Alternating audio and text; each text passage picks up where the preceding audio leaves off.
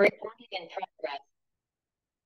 Hi, I'm Elizabeth Treccase, life and productivity coach with a clean slate. And I am 13 weeks post rotator cuff surgery. And this is the part that I'm going to call the slog. Maybe you can relate. You know, um, I definitely have more mobility and range of motion than I did um, three weeks ago, four weeks ago but I don't have more than I did prior to my surgery. And so I, I knew that was going to be the case, right? I knew it was going to be a long road, but it's one thing to know something and another thing to really live that something.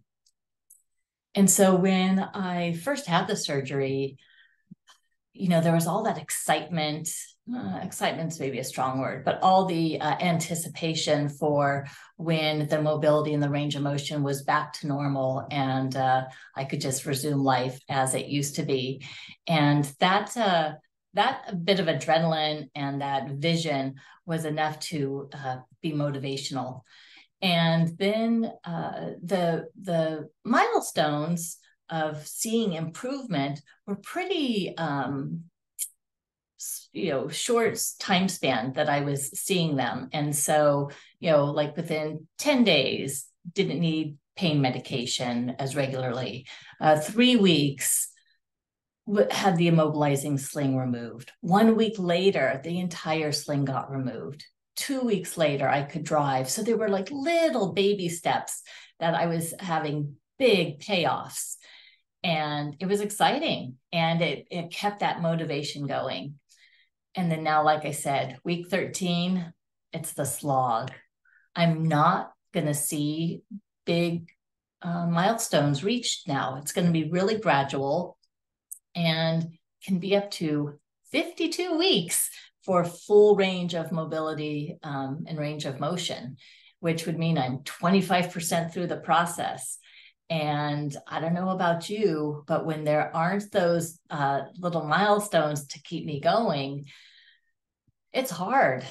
And this is going to require uh, two qualities that I am not super strong on, and that is uh, patience and perseverance. Um, I don't have an uh, an abundant well full of those, and so I'm not really sure what's going to keep me motivated you know, obviously I, I want to have the full range of motion and the mobility, but you know, um, that's a that's a long ways away. It's hard for me to to have that be enough. And it should be, maybe. But then I also know should is a bad word. So that can't be what drives me. So I'm going to have to find out what does. So I want to ask you when you're in the slog of a project, maybe even at a point of life where it really just feels like you're just getting up and putting one foot in front of the other each day. What keeps you motivated? What keeps you moving forward? What uh, reward system do you set up for yourself?